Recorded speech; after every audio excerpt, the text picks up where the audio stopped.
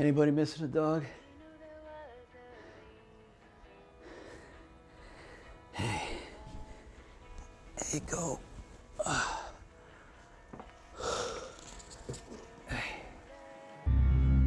Hi.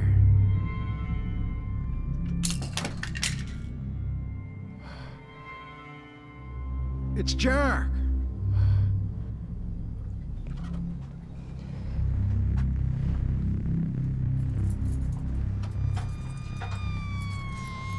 Hi.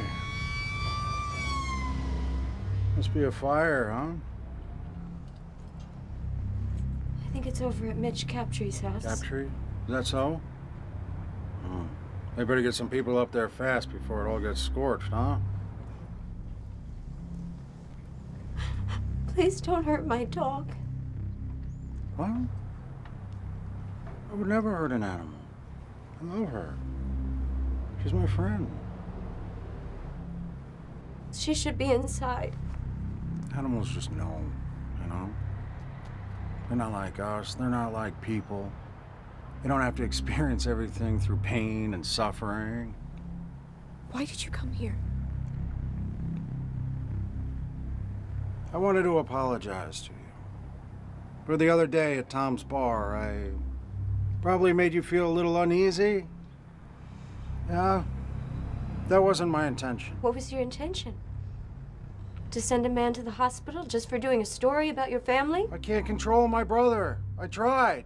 I tried, I tried, I tried, and I tried again. It doesn't work. You know, Joseph's not the only person being persecuted and judged in this town. I wasn't even there. You weren't? I was not. So you're not going after Joseph? Why would I?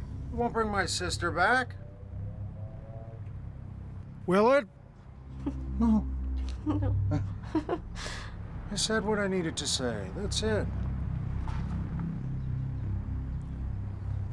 Can I have my dog back, please? Of course. Come on. Come on, sweetie. There you go. Easy, go easy. Thank you. So beautiful. Thank you.